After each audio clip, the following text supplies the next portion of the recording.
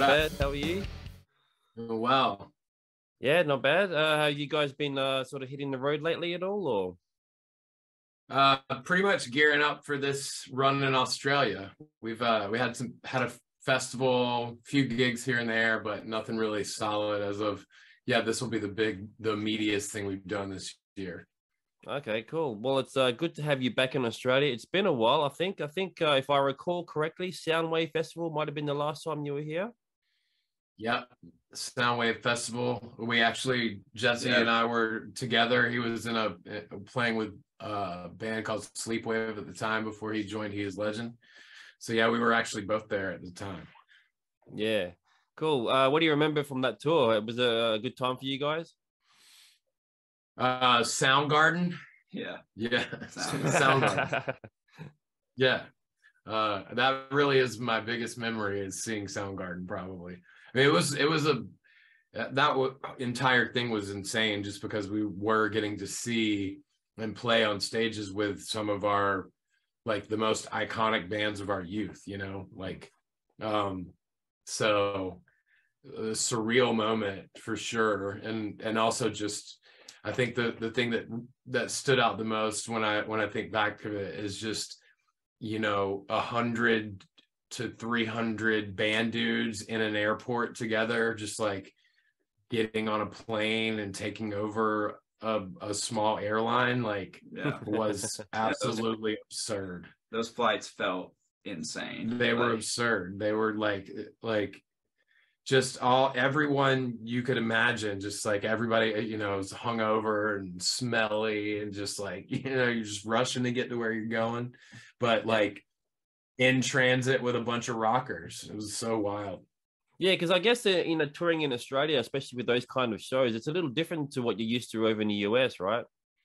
There's nothing like it. I don't think there's any other, I mean, maybe in other countries, but in the US, no, like you the US is huge, you know, it's like a, a really big place. Mm. And driving, you know, it takes four days, three and a half days straight to drive east to west. So uh yeah, we don't I've never really seen tours like that. And you know, like even your big Warped Tour style tours are still like, you know, you're everybody's in buses and caravan, you know, to to the next gigs 12 hours away or whatnot. But um yeah, for a festival like that, you know, I mean, where all the bands are traveling in that way, it was just odd because you know it was like the two the the two festivals switched cities, um, and they did them on e- uh, either time. It was just the whole the whole festival in general was like, it's it seemed like such a crazy undertaking, you know, to like plan all that. It, Mm. it gave me anxiety.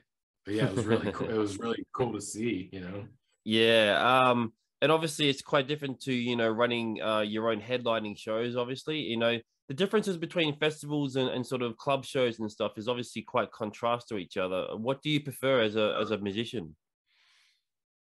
I prefer the club show aspect of things that I, I I mean really like festivals can be fun and the I mean obviously the the best part about it is you're playing to um sea of people who may not have you know have gotten to see you before and maybe wouldn't have ever come out to your club show otherwise. So like that's the obviously the benefit and the fun fun of doing it. But yeah you do feel like you're just like in this crazy machine and you're just like thrown in. And it's like man there all that you have almost all the same amount or more work to do. Yeah, and it's like a t-ball machine. yeah you, Mm. it's Go. it's so crazy. It's like the the last thing on your mind is like hope i enjoy playing the songs today. It's always just like you know you're there early in the morning to get in line because you have to like coordinate with basically it's just like 30 bands working together on one stage and it's so get your merch across the parking lot and you got to come back and the moment you get there everything is three hours behind. They're like you're you got to cut your set you got to do this you got to do that you're Mhm. already late by the time you get there like you have 15 minutes to set Yeah. up your gear to play for 20 minutes and then tear your gear off in 15 minutes and get back That- off that in the three o'clock sun Yeah, then, yeah. yeah Yeah, that first I remember that first show in Adelaide. It was like 114 out, and it's like it's 20 minutes behind. Cut half your set. your in your rig isn't working. Yeah. like, all right, go.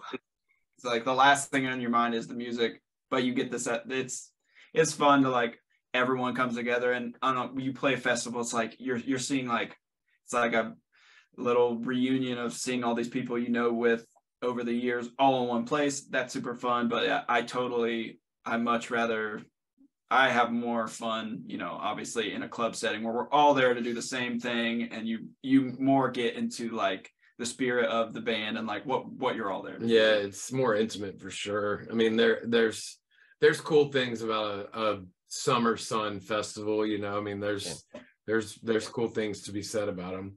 There's Uh, nothing like it, but it's also like it's they're they're absolutely not the same. Yeah, You're like flexing completely different muscles to do those sets versus like, you know, playing in a club. Yeah, I mean that makes sense. You know, obviously the nature of your music as well kind of lends itself a little bit, uh, in my opinion, a little bit better to this sort of club setting. I mean, would you feel that way as well?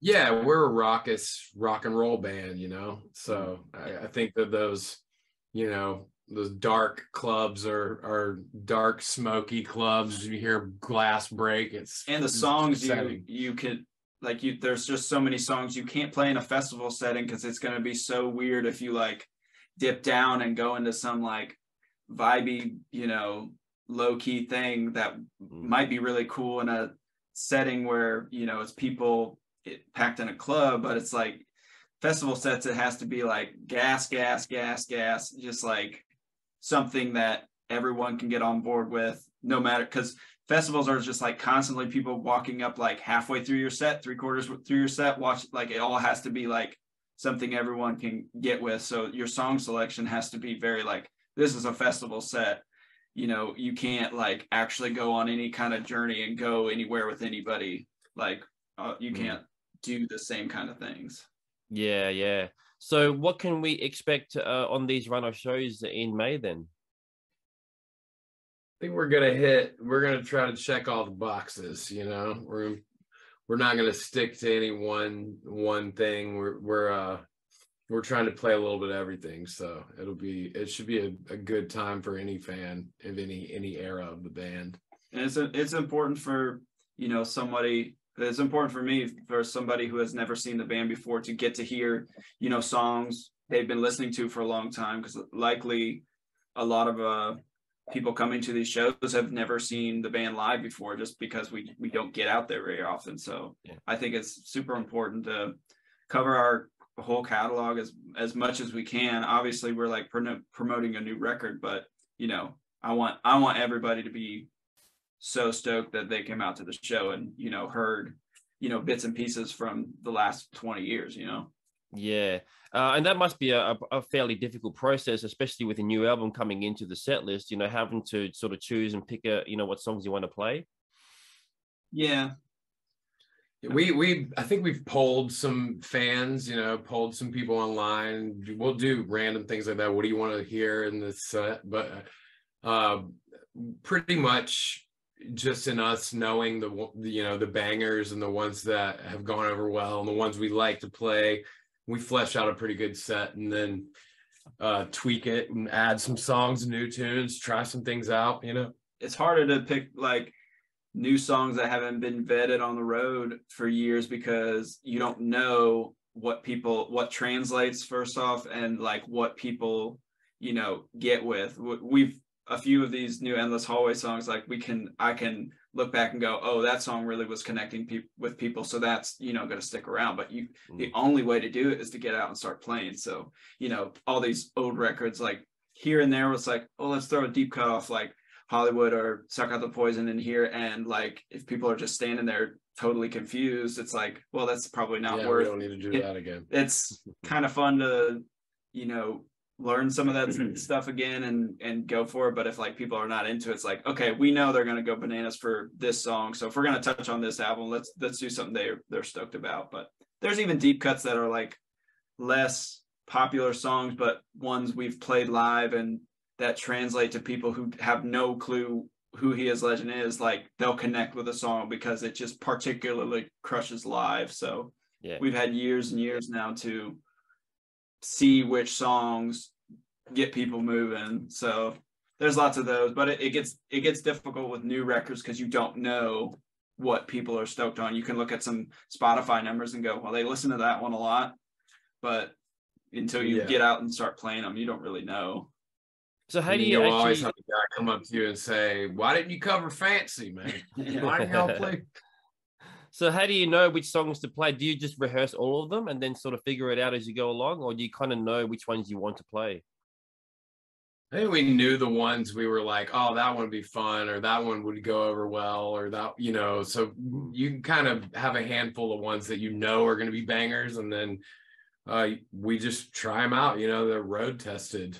So so some, I mean, some songs off every album disqualify themselves by this is a seven minute song. So it's like, you know, unless it's like something very specific, it's like, well, we're not going to play this like deep cut seven minute song when we play two songs that we Yeah. really want to play. Yeah. So we're picking from like 70 or 80 songs, you know, it's, it's insane to like 93, 93 93.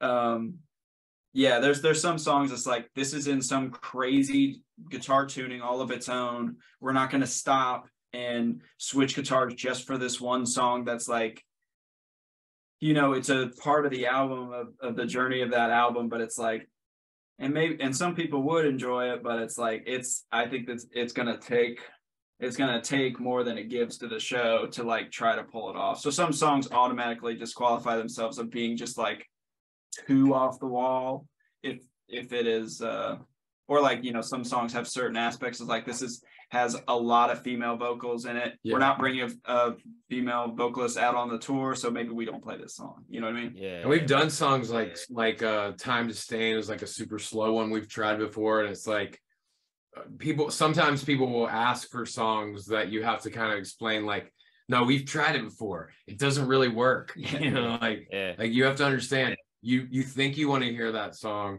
but by the time we you know we've got through the like third weird chorus, yeah uh you'd probably or get a little bored but Yeah. uh yeah but it's it you know it's it's always funny to hear somebody come up and ask you for like the most obscure thing Mhm. and you're like i I did not even know anyone would ever ask for that song in general or sometimes a couple people will say uh, why don't you play this song so we play that song and like nobody's into it it's like okay that's why That's we why. that's why we Yeah. didn't play it Yeah, that makes sense. Um, so uh, before you get down to Australia, then, uh, do you have any last words for the Aussie fans?